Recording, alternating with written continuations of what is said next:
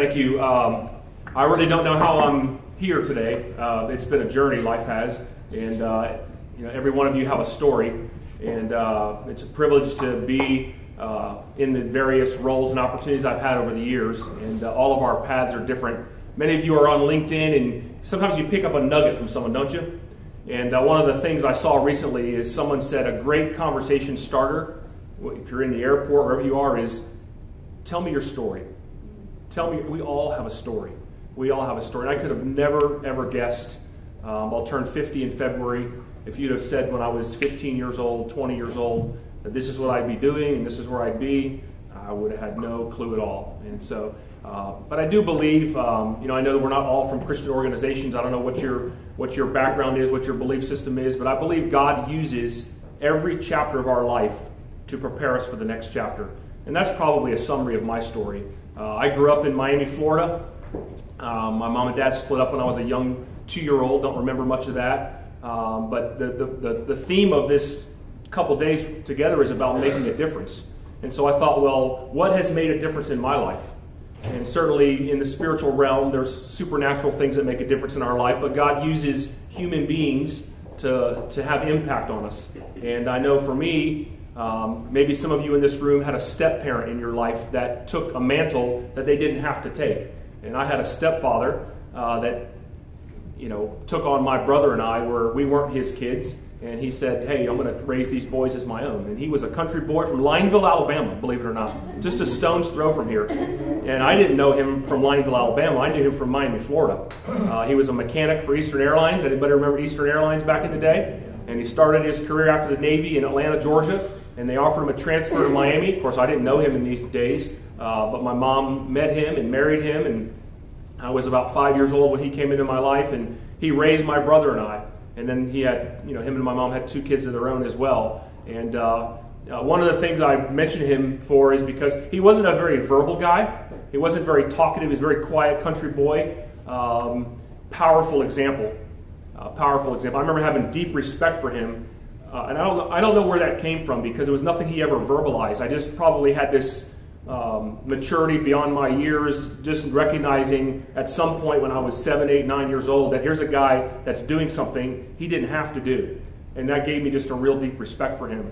And so, what he modeled for me that just gave me great, um, you know, one of our, our, our school picks a theme verse every year and uh, it's really become a cool thing for, our, for us every year. I think if you if you do that, it can become just a piece of paper on the wall, or it can become kind of a living part of your community. And for us, every year, that theme verse is just living a living part of who we are. One of my favorites a couple years ago was "Follow my example as I follow the example of Christ," and I think that's what kind of my stepdad embodied. He didn't he didn't talk a lot. He wasn't very verbal. He just lived his life consistently. His walk and his talk were were in sync, and so I picked up a lot along that path. And then, and then God just used uh, various uh, other people. Uh, I can think of a key teacher in eighth grade that really poured into me.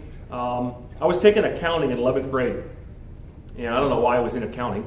I didn't know what accounting was. I didn't have parents that ever talked to me about going to college or, you know, it just, I just kind of grew up and lived life and I didn't know where it was going to land. Um, but I somehow ended up in this accounting class. And by the way, I was raised in a Christian school the cool story about that stepfather of mine, he's been gone about 14 years now, but um, he was a mechanic at Eastern Airlines, didn't make a lot of money. He drove a 1963 Volkswagen Bug.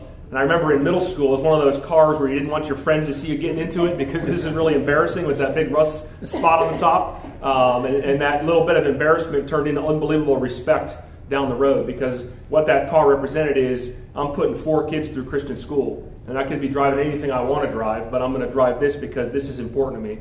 And so, just so many, so many cool lessons that I learned just by watching his life. And, uh, and, then, and, and, then, you know, I roll forward. I'm in this accounting class in 11th grade, and I just remember that teacher. I only remember one thing he said to me the whole year, and it was, I, I went up to get a, a paper checked, uh, make sure my debits equaled my credits, and uh, he said, "Man, you're pretty good at this accounting stuff." And I thought, I never. Someone just told me I was good at something. And uh, so I ended up going to Liberty University. And that's a story in and of itself. Um, I don't even know how I went to college. Uh, my buddy and I, Lou a good Italian kid, his grandmother made great baked ziti, by the way. Uh, I'd go to his house all the time. We were good buddies, met in seventh grade and lifelong friends. And, and uh, he had an older cousin that we idolized, and his cousin went to Liberty. I remember one, one week he said, Hey, you want to go up to Liberty this week and visit Pete? And I wasn't going up there to look at Liberty. I didn't know anything about Liberty. I just thought, yeah, I'll go, I'll go on a trip. So I went to Liberty, and I thought, this place looks pretty cool. I think I'll come here for college. And then I think about what my kids are going through for the whole college process today. It's, it's a little different. But, you know, I don't even really know why I went to college. Nobody was ever, even our, even our, guy, our college counselor at the school, I don't ever, ever remember meeting with that guy. Uh, but somehow, by God's providence, in the, in the path He orchestrated for me, because I believe every chapter of my life prepared me for the next one. And, and you know what? A lot of those chapters are painful. I mean, there are, there are hills and valleys in life that we go through. I mean, I think God puts us through the fire to prepare us for whatever's to come next. And, and, and, you know, we deal with parents all the time. Even at the college level, you guys are dealing with parents, right? That they should be off leaving their kids alone. But, but I mean, the, the parenting paradigm today is we want our kids to have no struggle, no pain, no difficulty.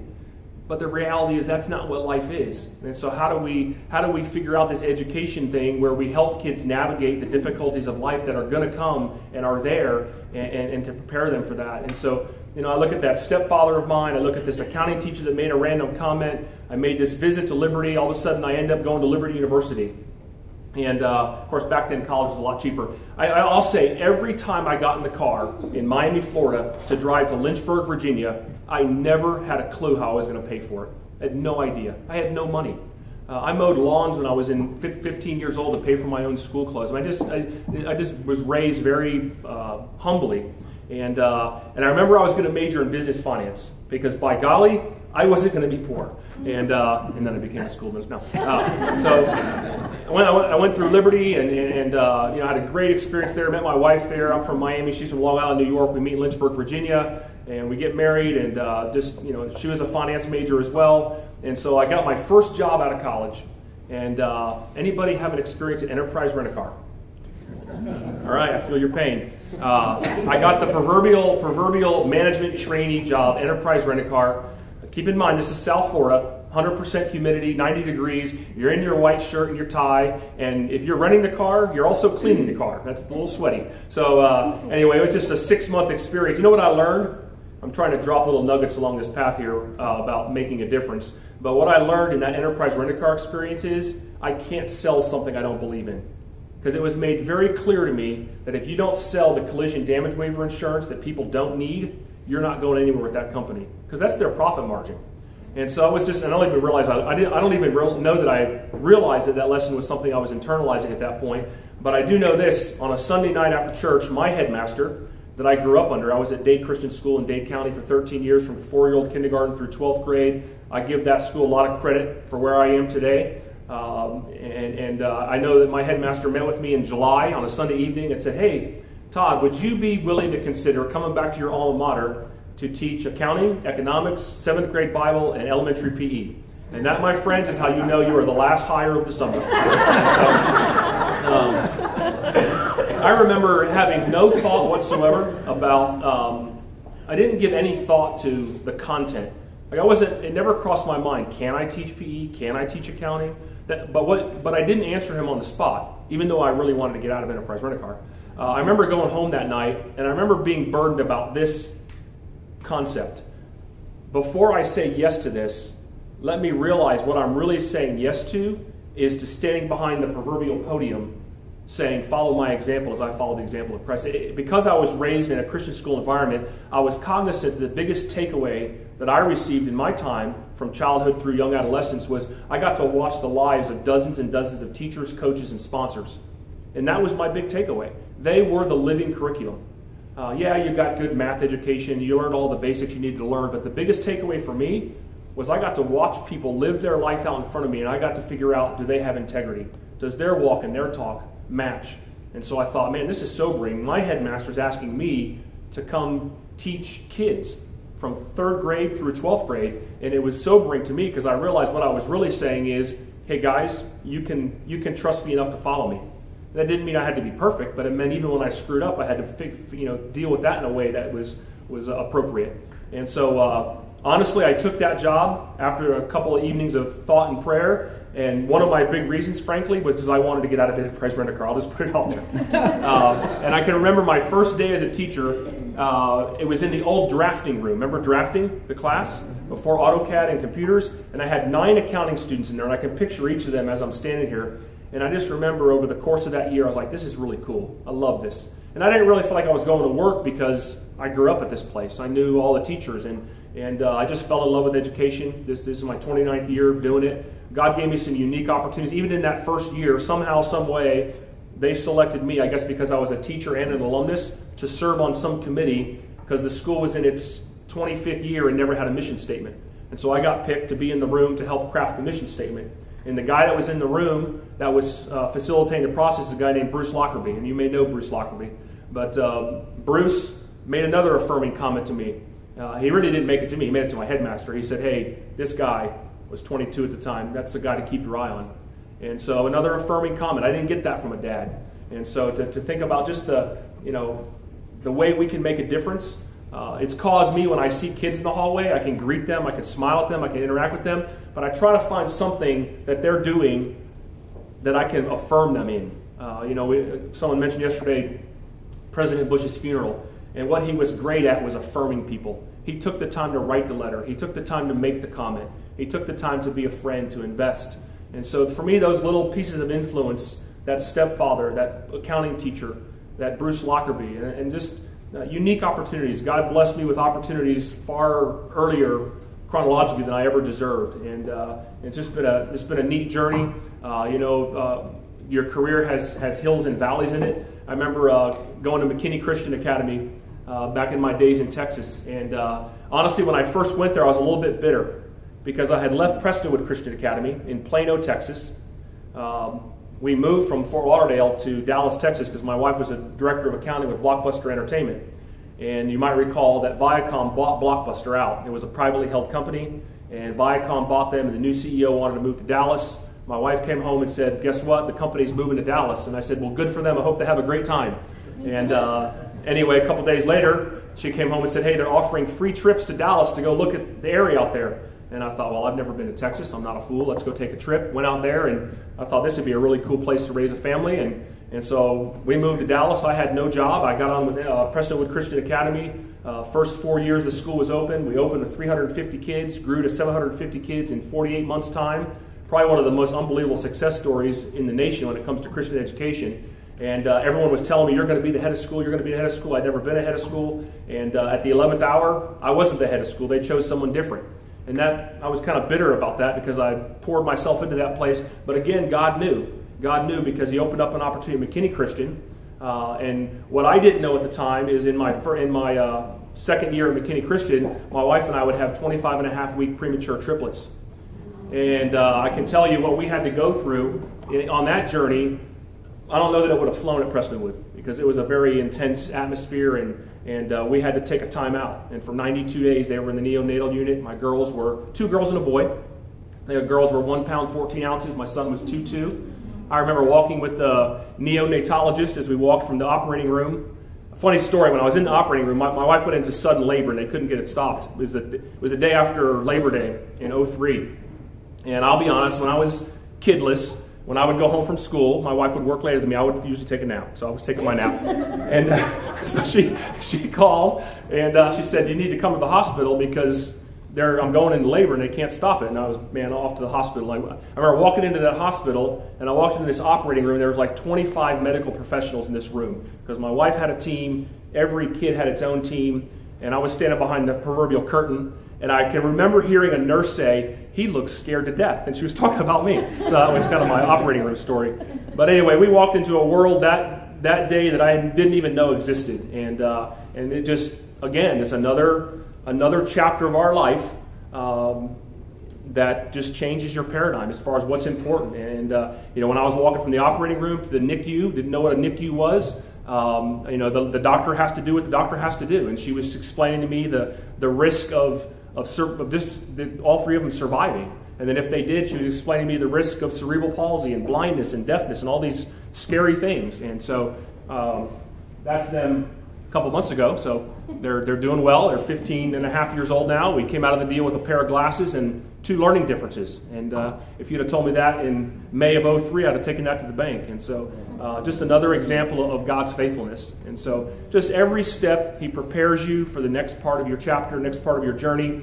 I was also foolish enough to think that when I left McKinney Christian Academy, that I was going to finally move to a school that had it all buttoned up and everything was set because I had done the new school thing twice. I went to Prestonwood, there was nothing there. Every year I was at Prestonwood, all four, we moved to a different campus every summer that I was there, and we never hired movers, so you can do the math. and, uh, and then I thought, well, the Prestonwood thing's not working out, so I'm probably ending, I'm going to probably end up moving to another city. Ironically, we lived in McKinney at the time, and uh, I thought, I wonder if there's any Christian schools in McKinney. I, I Googled it. This is back during America Online. Remember that was a big deal. You've got mail. And so I, uh, I found out, I lived in McKinney. I didn't even know McKinney had a Christian school. And I found out there's a little school called McKinney Christian Academy. It was a cold, rainy night, and I got in my car and I thought, I'm going to go see this place. And I drove to the east part of town and I found, a, I found an old bank branch building. It was about 5,000 square feet. that had been converted into McKinney Christian Academy, and they had some portal buildings. It was on two acres, and I found out they leased a half an acre because they didn't have enough with just the acre and a half. And uh, I said to a buddy of mine, I'd actually thought I was starting my own school. And I thought, well, this is my quote I'd rather have a lump of clay than no clay at all. And so I didn't know if I'd get an opportunity there. I didn't know if they were hiring. But I went home that night and I looked on ACSI's website and I found out they were looking for a principal. I thought, oh, there's a school in the city I live in. They're looking for a principal. Now, keep in mind, I hadn't left Prestonwood yet. My dad taught me that. Don't leave this job. Right? Anyway, and so um, then I did take a step of faith, and I decided to leave Prestonwood before I had another job lined up. Um, didn't have kids; that was less risky. And uh, I remember a lady came to see me in my office at Prestonwood, and she had come to Prestonwood from McKinney. And she said, Oh, I'm so sorry you're leaving. If there's anything I can do for you, let me know. And I said, Well, if you know anyone at McKinney, because I knew she had just come from there, put a good word in for me. She goes, Actually, I, I she's a hairdresser. She goes, I cut the hair of one of the board members, uh, you know, his wife. And so it was actually Dan Brooks, it was Karen Brooks. And so, he, anyway, I got the interview and ended up at, at McKinney, and uh, just a, a, great, a great chapter of life. But then I had an opportunity to come to Georgia, and uh, you know, my wife and I are from the East Coast, and uh, came to Georgia, and uh, the summer after I arrived in Georgia, the Great Recession hit. And North Cobb Christian School is situated in a northern suburb of Atlanta. Atlanta has, as I understand it, more private schools than any other major city in the country. Over 300 independent uh, schools, private schools in the area, very competitive area. Uh, North Cobb Christian is very unique. Uh, there's a lot of very high end schools in Atlanta, very expensive, sometimes more than you pay for college. And North Cobb Christian's unique because it's more of a middle income school more of a working class school, more of a dual income school, which I love all those things about it. But it does bring some struggle at times. And if you remember in economics learning about elasticity, it means that when the economy goes down, we're going to have more swings in enrollment because of the situation that, that we are in with our socioeconomic diversity. And so here I just moved from uh, Texas. I'm in the big boy chair in uh, Georgia. And the first year I was there, our enrollment dropped from 970 to 890. That's a big drop. That's 80 students. Do the math on that at about $12,000 a pop. So, okay, we can handle this, and we made some cuts. And the next summer, uh, when the recession really set in, we dropped from 890 to 730. So, think about that. Our revenue went from 970 students to 730 uh, in just that quick of a time. And guess what I did during that time? What do you think you would have done if you were the, you were the leader of an organization that dropped in enrollment that precipitously in 24 months? I started saying, What's wrong with me? What am I doing? This has got to be something I've caused to happen. And that was my, and I think the enemy can use that in, as a big weapon. And so, you know, what we did is we got busy. We got busy as a staff and we, we said, you know, we got in a room and we said, hey, what is our mission? Let's get back laser focused on what our mission is. Let's remind ourselves why we do what we do. And I, I believe in the four P's in this order. What's your philosophy? Let your philosophy drive your program. Let your philosophy and your program drive your people. And let your philosophy, program, and people drive your places. And that's where this guy comes in with the places. But you better get the other three P's in order before you start worrying about places. There are organizations out there that all they do is celebrate how pretty their facilities are. Here's the church, here's the steeple, look inside, see the people. Are you about the church and the steeple, or are you about the people? And I think if you've got the, the DNA in your organization where you've got a clear philosophy, you're laser focused on why we do what we do, you've got a program that drives that philosophy, you've got great people that oversee that program, the places will come. I wish facilities started with a P, but it's places.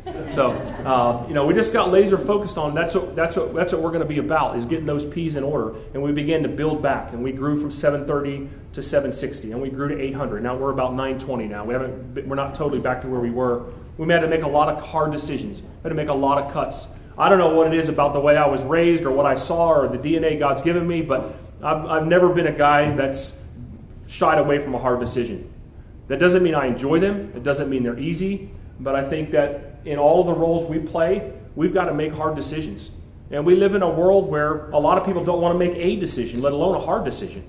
And so I think if you're a leader in a development office or you're leading an organization, you've got to make hard decisions. I wish everybody liked every decision I made. I really do. I'm, I'm a people pleaser, but I've, I've learned that they're not going to like every decision you make. And you just have to have clarity in your mind and in your heart and you have to lay your head on your pillow at night. And you have to be comfortable not only with what the decision was that you made, but maybe sometimes more importantly, how you made it.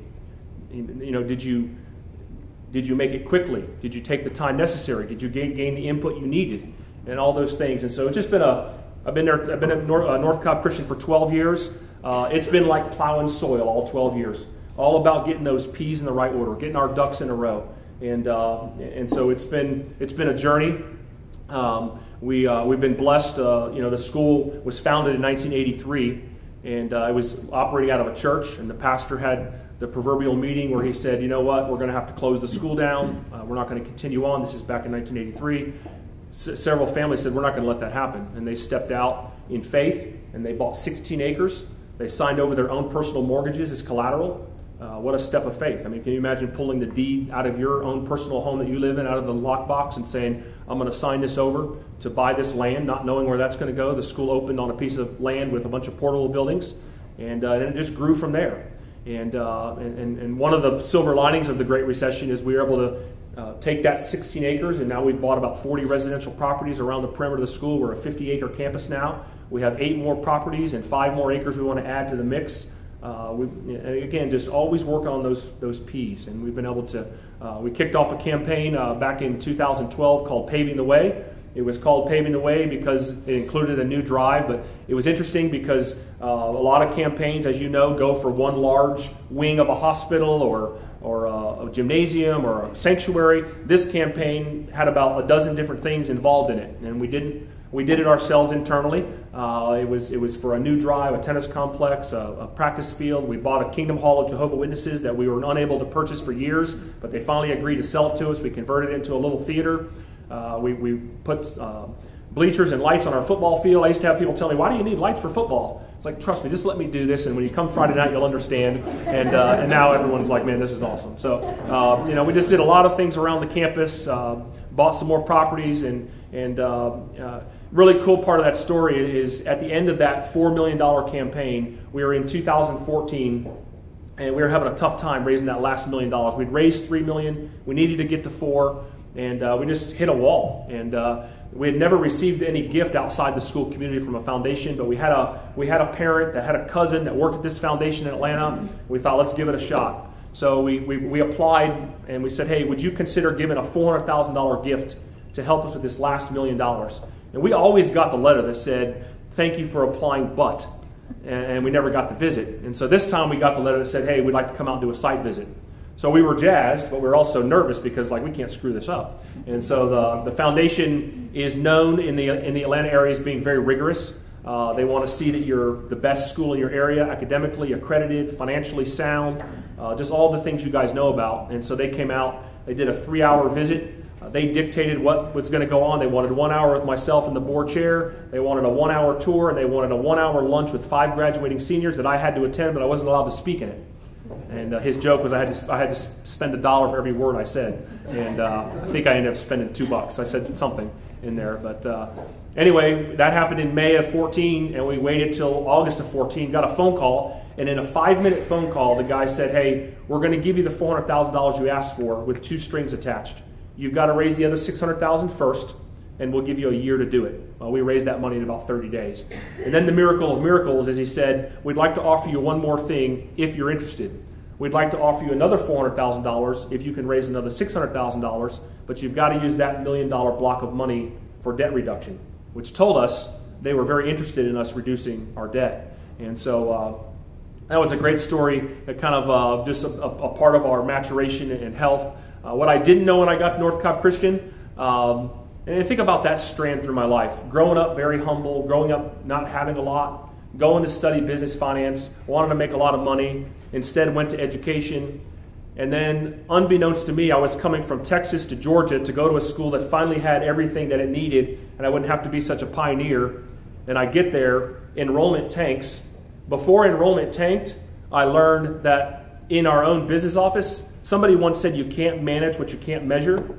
That's a great line because a lot of Christian schools in this country run what I call an internal loan, which means they're spending next year's tuition before next year begins. I refer to it as an internal loan. And in, in the midst of, of getting acclimated to Georgia and realizing our enrollment's dropping, I also found out that we were running about a half a million dollar internal loan.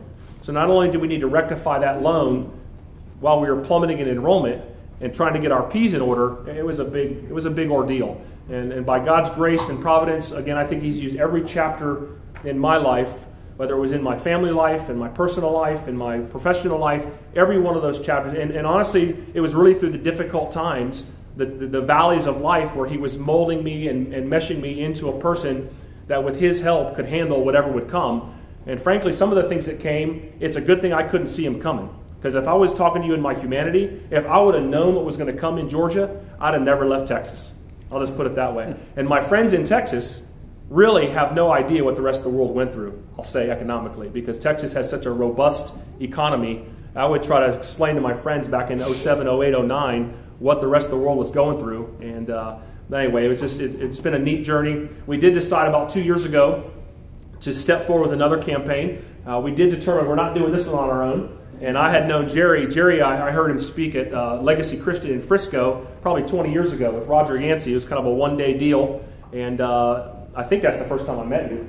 And uh, then we decided at, at, my, at, the tail end of my time in, in, in McKinney, uh, which that's a whole story in and of itself. We went from that two acres to a 63 acre campus on the opposite side of town. So when I got to McKinney, uh, the reason it was a lump of clay, it was unaccredited, never had an audit, never given a standardized test, didn't have an athletic program, didn't have an arts program and needed to relocate to another piece of another part of the city. And I was all in on that. I love that stuff. now I was younger too, and so uh, when I got to McKinney, I knew we were getting ready to go for a ride. And I always tell my friends, McKinney was a great stop for me because I got to throw anything against the wall I wanted to, and I got to see if it would stick. And uh, it was just a, it was just a blessing to, to see so many different milestones accomplished. We relocated the campus. We relocated the upper school. We eventually relocated the lower school. We, we, we did get audited. We did have standardized testing. We did it. We, they do have a great sports program now, arts program. And so it's just been great to see that chapter for me uh, uh, was just such a blessing and to see what's happened in the years since I've left there and, and similarly with North Cobb Christian. But, but um, I guess I'll just finish with at North Cobb Christian, this, this last chapter has been another great story because uh, a couple years ago we decided, okay, paving the way is done. What should come next? You know, you always say you're either planning for a campaign or you're in a campaign. And so we finished paving the way, and we're like, let's plan for the next one. And uh, but we, we said to ourselves, if we're going to do a campaign, we're going to do it by the book. We're in our 36th year as a school. We've really never done a campaign by the book. Uh, before paving the way, the school was basically bankrolled by one benefactor and a lot of debt. And so if, there's a little nugget for you as well. I was talking to someone since yesterday that was saying that they've got a real big benefactor in their school, and that's great. But prepare for the day that benefactor's not around. Because if you put all your eggs in that benefactor's basket and then they're not there anymore for whatever reason, then you've got to really you know make sure that that's uh, buttoned up. So uh, in our in our 12-year development evolution, we've seen our annual fund go from 21% parent participation to this year 94%. Huge accomplishment. Uh, if you're in the state of Georgia, you know about the Georgia Education Expense Credit. What a wonderful piece of legislation because it came about right in the right when the right when the Great Recession happened about 11 years ago, and it basically allows Georgia taxpayers to defer part of their Georgia state tax to the school of their choice. Well, wow, just what the doctor ordered when we needed it 11 years ago. And now the cap statewide was just doubled from 50 million to 100 million for 2019. So that's been a great pot of money. Uh, so between annual fund and the Georgia Education Expense Credit, and uh, you know just getting our development office buttoned up like it needs to be, uh, it's just been a, a great journey to see how the financial piece of it follows the P's. You know, you're not going to have all that success without the hard work and without getting that mission, that philosophy, and the program and the people in the right order. Because then you've got something to sell. And that, that takes me back to Enterprise Rent a Car. I knew real early on I can sell Christian education because it's who I am. I'm a product of it. I believe in it. It made a difference in my life. It's making a difference in my kids' life. So, you know, if you're if you're at an organization where you're having a hard time selling the product, you probably got to find a new product to sell. And so I, I just feel really good that I'm at a place where now I'm, I'm the first to say in open houses, uh, if you're coming here looking for a perfect place, keep going. You know, the whole uh, idea of uh, Christian schools are perfect places that are utopias, that doesn't exist. And uh, there's no bubbles anymore. You know, some people say, I don't want my kids to go to Christian school because they're sheltered. There's no more shelters. This has removed all shelters. So kids are exposed to anything and everything. But are they in an environment where we can guide and direct and, and, and, and get them through the, the challenge of life in a way that you know, leaves them in good stead? That, that, that's the key. And so just through all of those opportunities with Georgia Education Expense Credit, Annual Fund, um, we said, you know what, we're going to do a feasibility study before we do anything next. So we, we, we talked to the J.F. Smith Group. They came in uh, just about 14 months ago. We kicked off a feasibility study. I think every interviewer is in this room. We had five interviewers. All you guys are here. And uh, I think I'm going to be able to be one of you guys one day because I've got the hair. Uh, so, you know, keep me in, keep me in mind. Uh, but Tara, Tara, did a great job. Uh, Tara Dorsey is our development director. And uh, she's an awesome person to have as a development director because she came to the school as a first grader back in 1988, and she was also in the she was in the first graduating class of 2000, one of six graduates when, when North Cobb Christian had its first graduating class.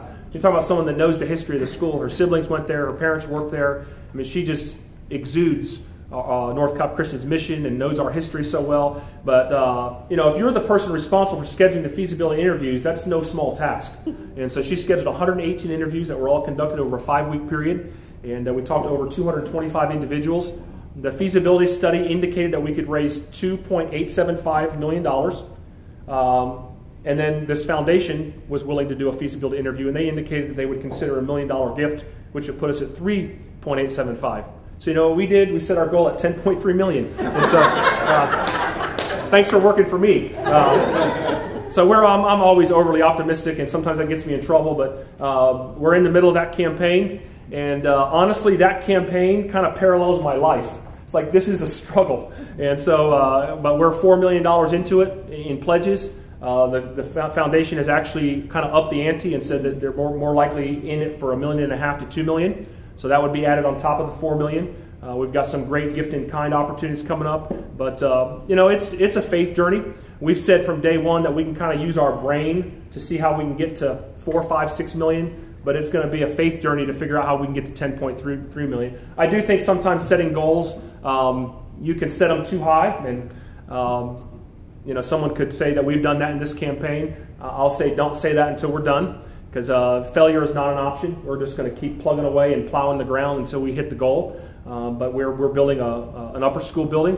Uh, we've selected an architect. Uh, we've got schematic design behind us. We're halfway through design development. We've got a civil engineer that's been with the school for years. Uh, we've got a great development um, campaign structure that JF Smith Group helped us put in place. We've had great team, uh, Chuck and Sissy working with us, and Laura, uh, just all through the campaign. And um, you know, it's, it's got its highs and lows. I mean, there's days that are discouraging and there's days that are just awesome and, and anything in between. But it's a journey and we're just plowing one day at a time, going through it and uh, just trusting that, you know, God will, will give the increase. And so, um, you know, it's just uh, uh, that, that, that upper school building, we're going to build it in two phases. So the first phase will be about 36,000 square feet of what we really need. Uh, right now, our school has about 100,000 square foot main facility, a lot of portable buildings. So it'll really, really help our upper school. It'll help our lower school, middle school, because they'll have more room to kind of spread out in. Uh, but I think the day that we're standing at this on the steps cutting the ribbon, we'll be looking at a physical structure, but it'll represent a spiritual journey because it's just a matter of you know. Uh, you still get butterflies when you go into those big asks? I, I do. I still get anxious. I still get nervous about it. Uh, but you know what? The people that, that you're talking to, it's amazing how many times they're more blessed than even you are by being able to give. And uh, I have people tell me all the time, and I know you do too, I hate to have your job. I could never ask people for money. Um, it doesn't bother me at all. I do get a little, you know, you know, when you have the, the foundation coming and you got a million and a half dollars on the line, if you're not getting a few butterflies, something's wrong with you. But, uh, but at the same time, when it comes time to make the ask, I'm not shy. I'm, I mean, I'm bold uh, because, uh, again, it comes back to do you believe in that first P? Do you believe in the mission? And I think it's all about telling your story. Telling your story. Your school, your organization has a story. And I think tell your story, explain the impact. Tell your story, explain the, explain the impact. And when I say impact, I mean it in two ways. The impact of the mission, what would be different about the world tomorrow if your organization was gone? That's a good litmus test. What would be different about the world tomorrow if your organization all of a sudden ceased to exist? That's one piece of impact. Here's the piece of impact that really worked for us with the foundation, I feel. We persuaded them that with all the entities in Atlanta, if you give a million dollars to the Westminster School, it's just another million dollars for them. You give us a million dollars, it's a transformational gift that's going to put us on a different trajectory. So I would, I would use the word impact in two different ways there. The impact of the dollars for your organization, and that's going to come if your organization is having an impact on the world around it through whatever it is your mission is. So, uh, anyway, I did have some notes.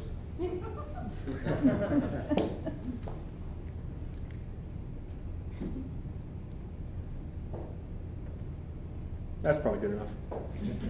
I, uh, you know, if I was being if I was being transparent, I would say, you know, I'm, I'm a worrier at times. I worry about how we're going to get to the goal. Uh, I don't enjoy the moment enough. I'm always looking for what's next, what's next, what, what's the next gift. And I, I've been convicted. I need to, you know, I need to pause sometimes and just enjoy where we are. You know, we all have alumni that come to our campus. You know what the alumni do for me?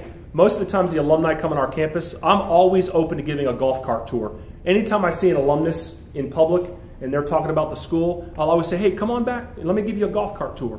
First of all, I love talking about everything that's happened, uh, but I also want to get them re engaged. But every time the alumni come back and we do a golf cart tour, they're, they're, it's amazing because I come away encouraged because they remind me of everything that's happened in the, the years that they've been gone. And maybe it's been three years, maybe it's, it's like, oh, wow, yeah, a lot has happened. And so sometimes you can get so focused on, you know, it's not enough, it's not enough tomorrow, tomorrow, tomorrow. You got to realize, man, what's, what's happened up to get us to today? And how has God been faithful and blessed us with so many things? Yeah, those are all physical things, but those physical things remind us of His provision. And, uh, and we know through Scripture that He's going to equip us for the job at hand. He's going to bring the resources. He expects us to use our brain. That's why you do feasibility studies. Uh, but when Jerry came back to the, our board, you know, he recommended to the board moving forward on a capital campaign for an upper school building. It was great because in our case, we tested about a dozen different projects. We tested everything from debt reduction to preschool building to property acquisition to upper school building. You know, if we had $100 million, we could spend it today, and you could too. But you got to pick. And so we want to pick a priority that's important to us as the leadership. And what you're hoping is that that's the same priority your constituents have. In this case, that worked out because everybody agreed the upper school should be the top priority. And so we moved forward. And by the time all the design was done, it was a 63,000 square foot building that would have cost us about 18, 19, 20 million, which immediately told us we have to do this in two phases. So uh, you know, I think that journey, that fundraising journey, is, is so symbolic of our faith journey, of our life journey. And uh, you just don't want to be so busy or distracted or thinking, being so consumed about what's to come next that you don't pause and enjoy what's already come and where you are today. And so, anyway, I don't know if what you were looking for, but that's kind of the story of my life.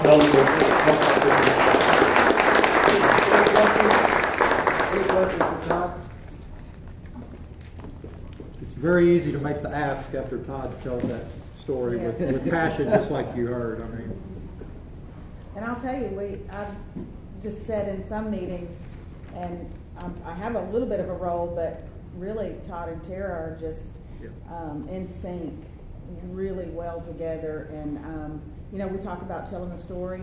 Um, they're not going to remember what you said, but they're going to remember how you said it. And, and you do an, an amazing job and with passion and enthusiasm. And, you know, I think that's why we are where we are. And I know that, you know, we talk about campaigns or marathons, not sprints. And I know we're going to get there. So. Uh, I think another little factoid is that um, you know we all, and I know we got two different types of groups here, but if you're in a private Christian school, and I think in the university system as well, we all have boards we work for. Yeah. And I got to say, one secret sauce in all this is I had a board that totally trusted me and gave me the reins, and they did not interfere. And I think that was because in my first 24 months, they saw us go from 920 to 730 and we got rid of the internal loan and we balanced our budget and they thought okay i guess he can handle this. But i'm just saying i'm just saying that if, if they would have been entangling i'm not sure i could have had this the, the it would have driven me out of my mind because there was so much to do in such short time to keep the thing on the tracks if i had to deal with bureaucracy or people getting in your business i would have said you know what i can't, I can't do this i mean we're, we're supposed to follow the governance model and the governance model is you hire a ceo and you let him do your job and my motto is don't surprise the board, so I keep them informed. But man, for uh, 12 years now, they have just let me do what I need to do. And uh, of course, I report to them. Of course, I inform them. But man, they have just let me go with hiring and firing and finances, and it's just been unbelievable. And I don't think there's any way we'd be where we are without a board that just turns me loose. Talk about your faculty for a minute in the campaign and the impact. Oh, the faculty blew us away. Yeah, um, you know, we, we, we, we, got, we've gotten into this mode like you're probably in. Uh, we don't have a different annual fund theme every year. We, we thought at some point we're confusing people. So every year our annual fund campaign is just all in, all in, all in. So everybody knows what all in is. Uh, and so we always do board first, faculty and staff, and then parents and alumni, etc. So our faculty was kind of used to that. But when we went to the to, to kick off our capital campaign, which by the way, our theme for the capital campaign is called HPOT, Nothing to do with regional legislation. Uh, no, it's, uh, it stands for His Plan, Our Time. His Plan, Our Time. So when we went to them with an appeal, we asked all of our faculty, you know, we're not looking for major gifts from our faculty. We just want participation. We know that means a lot to the foundation world. Um, and, but I mean, our faculty came in with uh, almost $300,000 in gifts for the campaign, which for a Christian school faculty, uh, there's about 100 and, 170 faculty and staff members, but some of those are part time after school care workers, kitchen workers, bus drivers uh, unbelievable. Uh, about 70 teaching faculty. And so that was, uh, and when, when we're in meetings with uh, potential donors and they hear about what the faculty has done and they love the faculty and they know that they know the faculty doesn't get paid very much, they're like, wow, if that's what the faculty is doing, we better up our game. And so that's been really cool. Yes, ma'am.